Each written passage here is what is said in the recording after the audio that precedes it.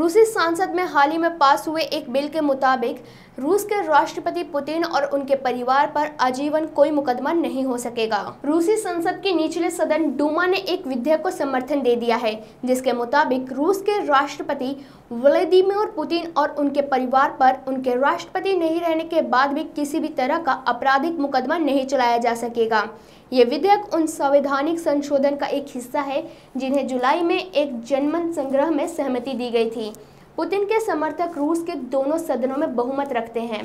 बतौर, राष्ट्रपति पुतिन का कार्यकाल साल 2024 में पूरा हो जाएगा, लेकिन किए गए संशोधन के मुताबिक, वो 2024 के बाद भी दो कार्यकाल यानी 12 साल तक बतौर राष्ट्रपति अपने पद पर बने रहेंगे।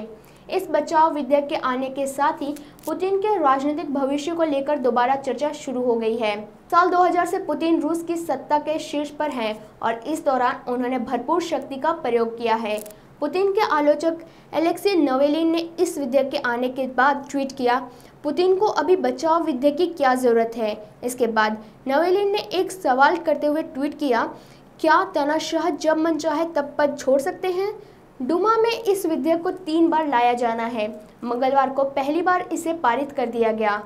सदन में पुतिन की समर्थन पार्टी, यूनाइटेड रशिया पार्टी का बहुमत है। हालाँकि, वामपंथी सांसदों के 37 वोट इस विधेयक के खिलाफ पड़े हैं। इसके अलावा, डुमा में इस विधेयक के दो बार और पढ़ा जाएगा। इसके बाद ये विधेयक फेडरेशन काउंसिलिंग यानी उच्च सदन में जाएगा। इस विधेयक पर आखिरी मुहर खुद राष्ट्रपति पुतिन लगाएँगे।